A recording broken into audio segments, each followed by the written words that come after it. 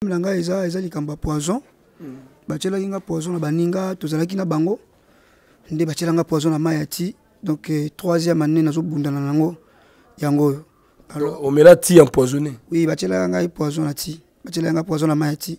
kaka na moninga oyo ngai nazwi nakoti na makambo ya nzambe tokende quelque part mais ye osalaki bayi koempoisonne ngai gloire à dieu na motu eza kaka nzambe azotika biso toza toujours na bomoi meme ata bato mpe batyaka bapoison wana baza kaka toujours na bomoi suye mpe projet na ngai mpe pensée na ngai ezalaka un jour babongola motema donc euh, basalelaka nzambe esi ekomaki kotobola micopo parce que bafoto ezali mm. micopo esi ekomaki deja kotoboka na micopo mosusu elingamaki deja na tolo na nga awa bapota ezalaki ebele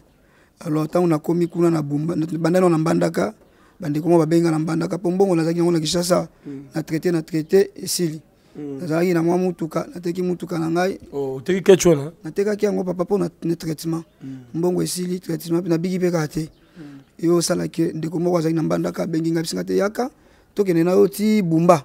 tokende bumba ba soutenir to to soutenir yo na sens que ozo ba traitement makasi kuna omeli ba kisa beaucoup alors eh, alors moi quelque chose na tiraki nango nde na profitaki to komi na mbandaka na traitement na mbandaka to longwe mbandaka nde toke bumba parce que tango to komi na bumba nde maladi yaki grave lisusu na mde kosanza makila kosuba makila kosala batolete makila kutu meme na likolo na nga soki na otali awa mm. bokomona baposo nde ezolongwalongwa nga nabaposo elongo yoko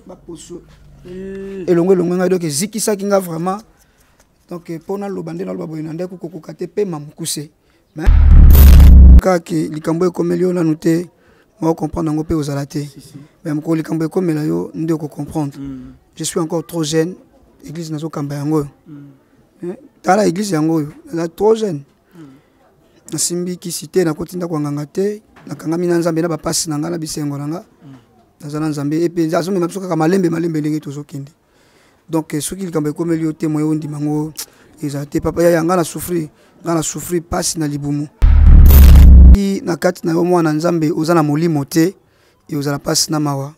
do mwana nzambe fo ozala toujours na kati ya maladi na biso to liwa na biso to kolia to kolata komela na biso ezo concerne te mm. na makambo oyo nzambe akoluka atalisa biso parce que okozala mpe na mbeto hôpital nzambe aotalisa motu moko boye benga ye sambela mpe mpo na yo osambe mpe mpo na bikima yo oza na mbeto hôpital donc euh, révélation ezali ke bana nzambe bozonga toujours na makolo ya nzambe parce que jésus revient bientôt yesu azoya kala te totika makambo nyonso to tozosala ezopesa nkombo nzambe lokumu te mm. tondima nzambe mokonzi mpe mobikisi bato bazokufa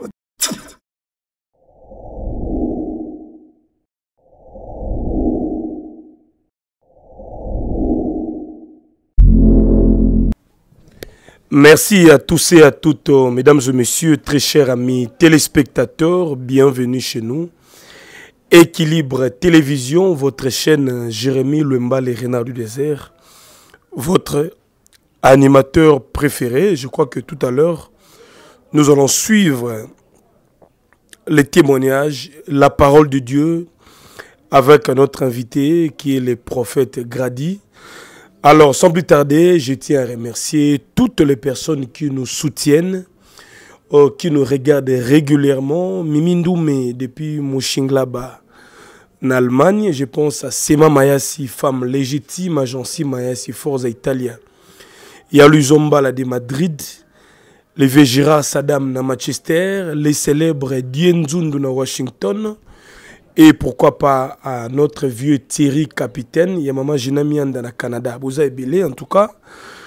Euh, sans plus tarder, euh, prophète Grady, bonjour. Oui, bonjour, bonjour papa Jérémy Lemba, bonjour. Voilà, merci parce que le Lolo Salibiso plaisir, to kita awa na église, place au Kambaka, ba brebis ya Nzambe. c'est pour moi la première fois comme en église nayo quand même euh, félicitations malgré il y a encore beaucoup à faire malgré la lutte euh, boni d'abord euh, ministère ouais papa Jérémy ministère ezokende malamu na nzambe mm. kaka nde tolobaka ke na nzambe ezalaka toujours malembe malembe mm. donc euh, totambusamaka na biso te soki totambusama na biso moko tobanda otombe toujours na berreur tobanda otombe toujours na bafaute donc totikaka kaka molimo nde ekamba biso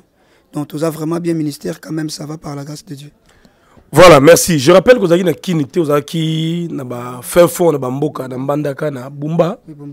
na bumba alors tu nous as envoyé des vidéos et tout ça tu étais gravement malade c'était quoi au fait ozo souffrir na nini bon problème na ngai eza eza likambo ya poison batyelaki nga poison na baninga tozalaki na bango nde batyela nga poison na mai ya ti donc eh, troisième année nazobundana nango yango oyo alors omela ti empoisonné oui batyelaka ngai poison na ti batyelaka ngai poison na mai ya ti kaka na moninga oyo ngai nazwi nakoti na makambo ya nzambe tokende quelque part mais eyo osalaki bayi koempoisonne ngai gloire à dieu na motu eza kaka nzambe azotika biso toza toujours na bomoi meme ata bato mpe batyaka bapoison wana baza kaka toujours na bomoi suye mpe projet na ngai mpe pensée na ngai ezalaka un jour babongola motema donc eh, basalelaka nzambe mais kutu namoni yo mwa fort nazokamwa mpo okomaki na etat moko très fébrile ezalaki mpena faible et tout euh, poison yango bamédecin balobi nini osala baexamen okota baeko balobi nini oui ngai problème eh, ya poison oyo esi ekomaki kotobola micopo parce que bafoto ezali mm. micopo esi ekomaki déjà kotoboka na copa mosusu elingamaki deja na tolo na nga awa bapota ezalaki ebele alors ntango nakomi kuna na bumba bandani wana mbandaka bandeko moko babenga na mbandaka mpo mbongo nazalaki yango na kinshasa mm. na traite na traite esili mm. nazalaki na mwa motuka nateki motuka na ngai oh, oteki keche wana natekaki yango papa mpo na traitement mm. mbongo esili traitement mpe nabiki mpe kaka te yo osalaki ndeko moko azalaki na mbandaka abengi ngai bisinga te yaka tokende na yo ti bumba tokende bumba basoutenir yo na sens ke ozwa batraitement makasi kuna alors, eh, alors moi quelque chose natikalaki nango nde naprofitaki tokomi na mbandaka nazwi traitement na mbandaka tolongwe mbandaka nde toke bumba parce que ntango tokomi na bumba nde maladi yaki grave lisusu na mde kosanza makila kosuba makila kosala batolete makila kutu meme na likolo na nga soki na otali awa mm. bokomona baposo nde ezolongwalongwa nga naposo elongo yoko elongo elongo ngai donc ezikisaki nga vraiment donc eh, mpo naloba nde naloba boye na ndako kokoka te pema mokuse mais nzambe asali quand même ngolu natelemi mais eloko oyo ezosala mpasi makasi na moment oyo ezali ilfo nazonga mbangu mpo na traitement nazongaki kinshasa parce que mbongo meme ya kolia kuna nazalaki nango susu te kuna vie eza chere mm. ndeti bamai na biso ya swiste awa totekaka yango 500 000 franc mm. kuna eza 2000 franc kuna eza 2000 francs donc kolia vraiment ezalaki na pasi mm. nde yango nabaki ke nazonga nameka kotalisa na bana na nzambe oyo bayebi ngai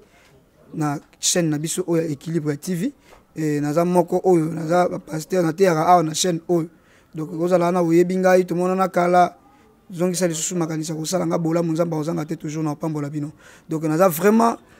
na posa ya soutien mpo ndenge nazoyoka nzoto naza bien te donc normalement falaki semaine oyo nazonga mboka nazonga mboka baotraite ngai yango na bakisi ya babokoko nazomela nde yango ezosala ke natelema nde natelemi boye alors nzambe abikisaka na ye biso bato na kisi mpe ejouaka role na nzoto ya motu ozomona bokoprie mpe mpo na ngai oui c'est normal fo boprie mpe mpo na ngai bokoprie mpo na ngai mais apres koprie esengaka mwa soutien moko boye mpo epermettre ngai nazwa nefiske kisi namela soki nayoki bien nzambe akozanga te toujours kosala bino bolamu donc euh, c'est ça voilà mesdames et messieurs peut-être bato mosusu bayebi te hein, prophète gradi aza moko oyo asalaka prière mpo na libota na nga tokutana na ye par hasard na nzela na victoire nayeba ye te atelemisa nga boye papa yaka oleka na tv nayebisi ye yo nani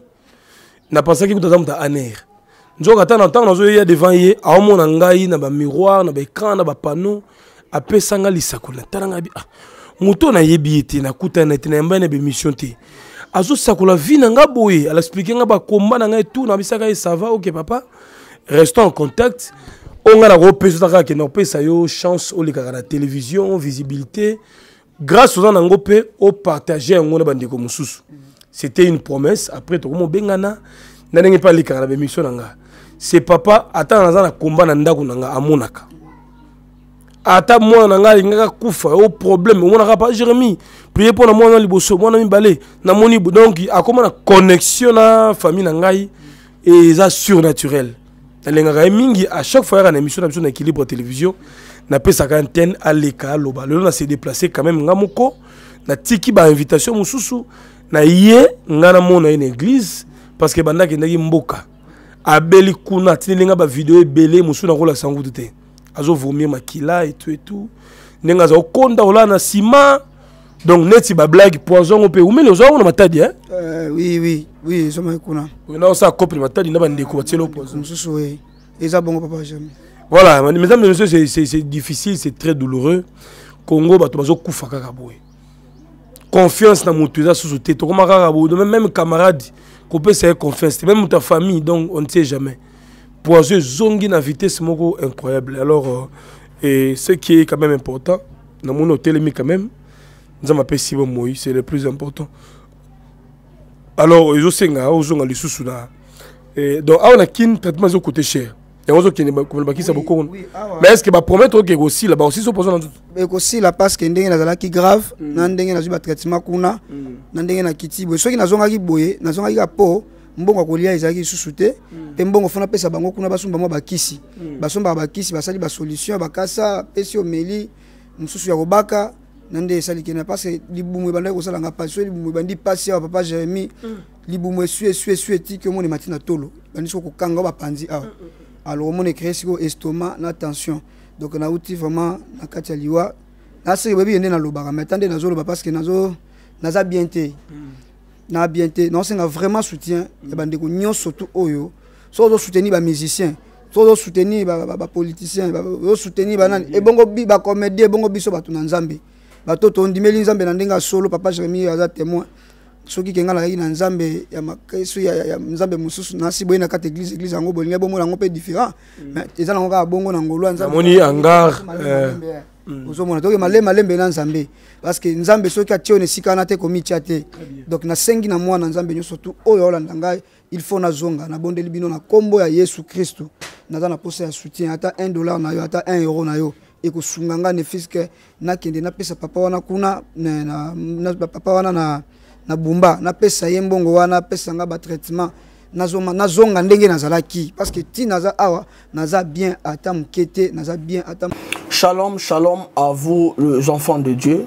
napesi bino mbote na nkombo na yesu c'est bien moi votre frère le pasteur israël nash je vous salue au nom de jésus je suis précisément à kinshasa naza responsable ya ofelina jésus est mon papa naye liboso na bino mpo na kopresente bino bana oyo bozomona na bilili mpe badifficulté toza nango nabandaki mosala oyo ça fait longtemps ya kobokola bana selon ainsi dit l'éternel mais badifficulté eza mingi difficulté ya loyer parce que tozofutela et puis difficulté ya kofutela bana minerval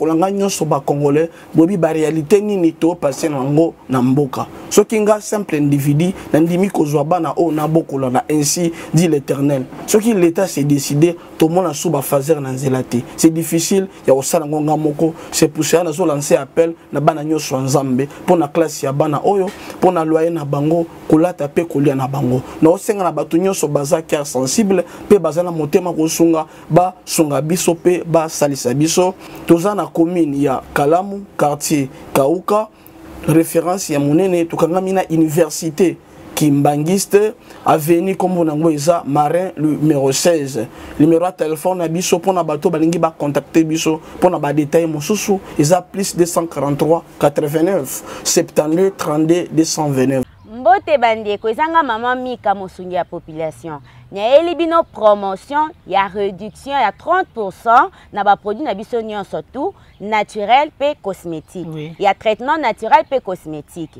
mpo na problème ya santé ndeko oza na problème ya hémorroïde stérilité tension diabète nerf sciatique estomac miome faiblesse sexuelle éjaculation précoce mbudimbudi bandeko boya basolution ezali bakisi ezali ebele eza très efficace tobuki baprix tobuki baprix na 30 pourcent côté cosmétique toza na baproduit na biso tel ke teint métis oui. toza na teint métis toza na crème de beauté mika mafuta ya kopakola toza na savon savon na biso goma oyo ezotraite eza contre batache bacne babouton mpe bavergeture tozali na savon noir na biso oyo ezotraite ezotya à l'aise na douche ezoprotege contre moi eza très efficace tozali na crème de visage na biso ezo embellir elongi ezo rendre elongi lisse mpe très propre très agréable tozali na huile d'anana solution yango oyo mpo na bapeau sèche nyonso tout solution ezali toza na lotion tonique mpo na bato ya mhm. tampon toza na lotion tonique mpo na bato oyo baza na tampon te mais mpo eza abime tozali na gommage faite à base de café ezo rendre elongi propre ezolongola babouton nyonso to ezokende na bagraisse oui. tozali na pomade ya suki mpe huile ya suki ezali très efficace oya na problème ya libandi suki ekolaka o bien te baproduit yango oyo e très naturel ezobongisa basukitrès naturel kaka ndenge mama alobi pomade antisola mapeka ndeko yo ozali na problème solo odegageaka otranspiraka mm, mm. mingi solution yango eye pomade antisola mapeka bobosana te toza na promotion réduction ya 30 pourcent na baproduit na biso nyonso kote wana tobuki na biso kote oyo toza na bakisi na biso mpe ya poussière oui. ya bokoko ndeko esika ozali eza mosika baproduit ya mai ezoya te bakisi ya poussière yango oyo okomela na ka ya maladi nyonso tu oyo mama mika atangaki awa okozwa solution na yo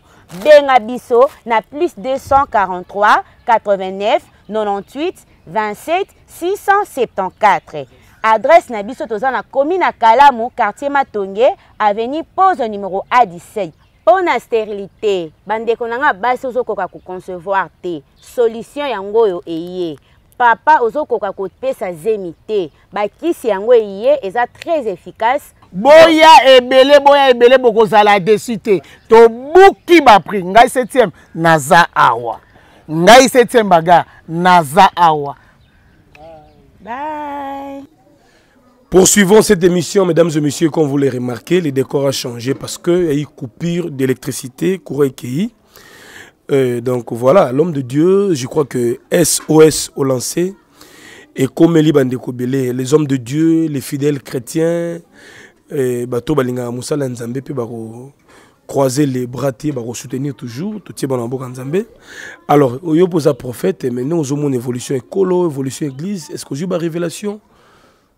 ntango bobelaka bino basala nzambe bozala na balide hôpital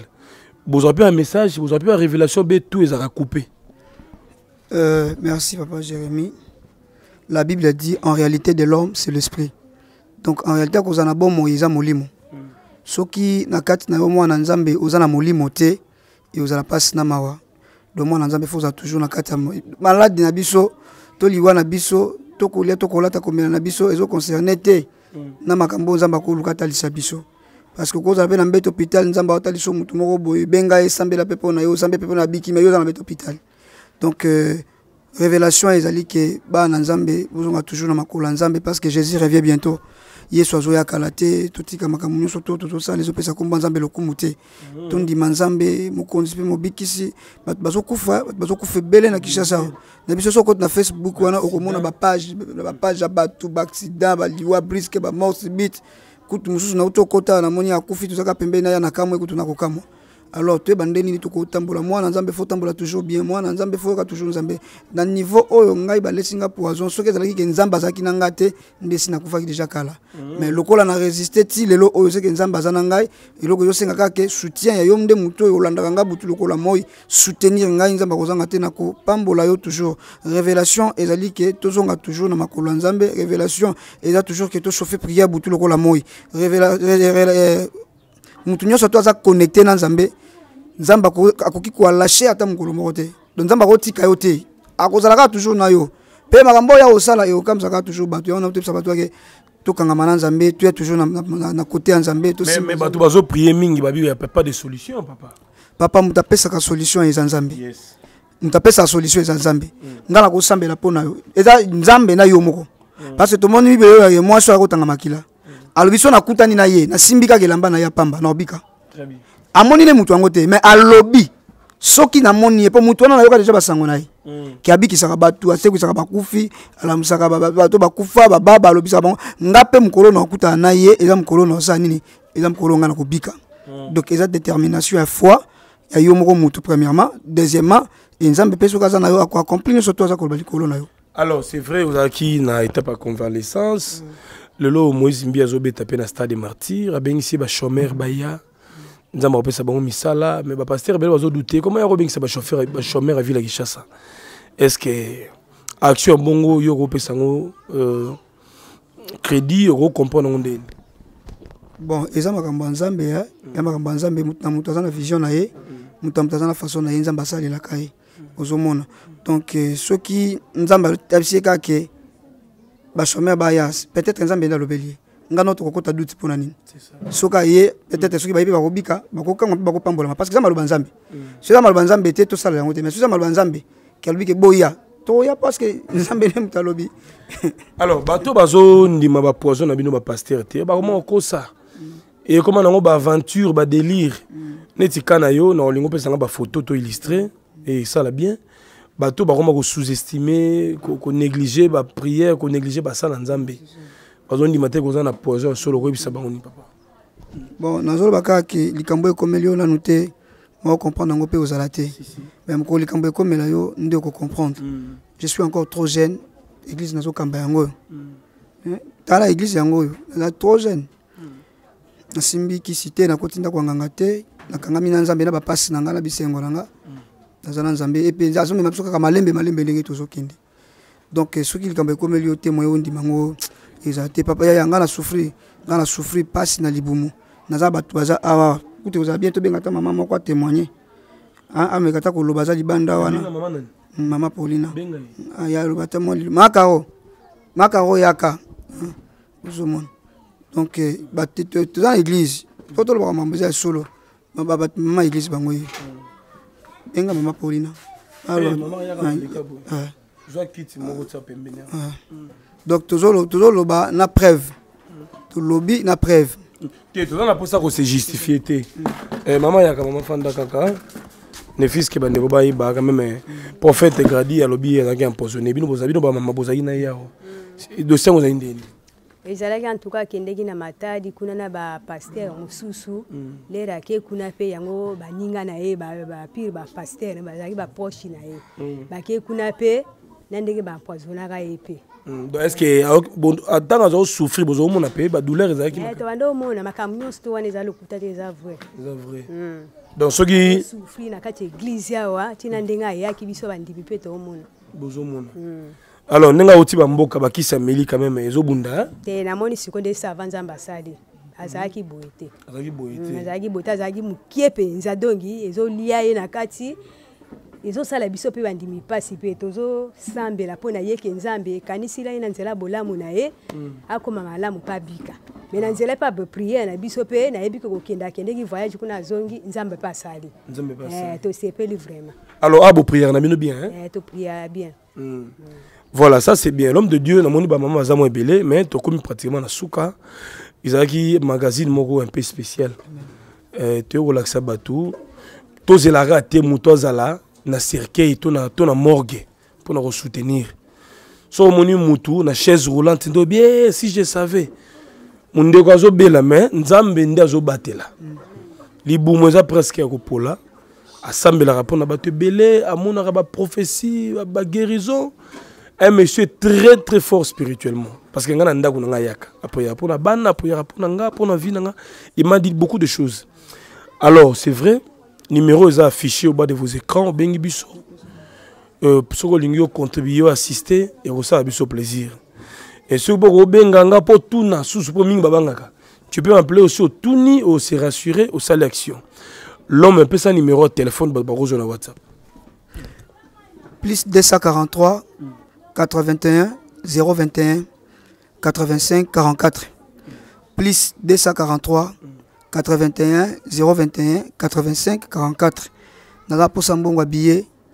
naza na posa mbongo ya soutien mpo nasomba bakisi kuna na mbandaka na bumba naza vraiment na posa ya soutien semaine tokokota nakende nzambe alola azanga te na kopambola bino na baoyo nyonso tu mpe bazangaka kokanisa kosala biso bolamu te nakokoloba mingi te mpo pema ezanga mokuse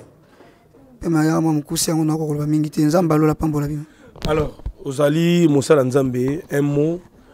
euh, d'espoir na bato baperde elikia bato bitumba eza makasi misusu baza na bapoison lokola me baya kotelema te baza na bambetu balali couche bato ya bongo bamoni yo okopesa bango message d'espoir si vous déclarez prière bible ezoloba ke jésus asekwisaki lazare na liloba maladi na ngai ekoampeshe te nasambela mpo na motu moko aza na mbeto hôpital na deklare lobi te lelo motu nyonso azwami na mbeto hôpital nzambe abikisa yo ezala na afrique na amérique partout bisika nyonso na bamboka mosusu toyebi bakombo te kimia nzambe ekota na mabota na bino bokokufa te mpe bokokufela te bokolela te mpe bokolelisa te intervention ya nzambe ekita na kati ya bomoi na bino moto nyonso akoluka kotouble vie na yo akutana na nzambe mosala ekufaki nzambe asekisa mosala na yo sante ebebaki nzambe arepare bambongo perdalaki nzambe azongisela yo yango zala motu kozala mokila te eloko moko ekotelemela yo te ebundiso mpe elonga yo oza na problème ya kobota nzambe apeso bana na nkombo na yesu bana bayoka ko lisusu te kimi ekota na bomoi ya bana na yo na kombo na yesu na kombo na yesu na proclame vie mpe victoire na kombo na yesu otambola motu likolo motu na se te nzambe azala bouclier azala nyonso ya motuya mpo na bino mpe motu nyonso to alandi biso nzambe na biso apamboli ye na kombo na yesu ezala toujours na confiance ya nzambe oza problème ya bota benga ngai na kosuteni yo na prière oza na problème ya mosala problème ya mokanda oza wana déjà espoir esi esili yo makasi esi esili yo omona ebandeli te omona suka te maladi na ngai ekoempeshe te mpo nasambela mpo na yo nakosambela mpo na yo benga ngai na plus 243 81 021 85 44 plus 243 81 021 85 44 oza na baproblème ezolanda nami na niveau ya mosala baninga bazozwa bango yo baozwa yo te bokota badosie boye babengi bino bazwi baninga yo kaka bazwaka yo te molili eza na kati luka ngai benga ngai na kosoutenir yo na prière na nzela jeune de prière nzambe akomimonisa vraiment que le seigneur vous bénisse bozala toujours na bilaka nzambe mpe bilaka nzambe ekokisama kati na bino que le seigneur vous bénisse Voilà, merci beaucoup au prophète Grady. Nous sommes arrivés à la fin, mesdames et messieurs, de partout vous nous regardez.